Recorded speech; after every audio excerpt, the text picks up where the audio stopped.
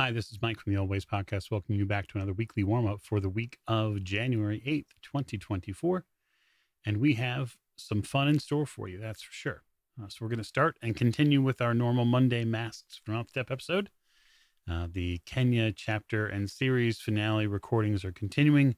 But for now, we're going to continue our movements and um, see how far our investigators are willing to go. Tuesday, we're going to continue with episode number four in our From the Dust series with our O Cell Agents of Delta Green. And the week wraps up Thursday for us this time with another fresh episode of our new series, Coriolis Children of the Periphery, which we're getting some great feedback on.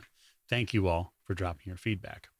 Uh, one last note I wanted to mention last week, I mentioned I'd gotten a strange feedback email. I've responded to them.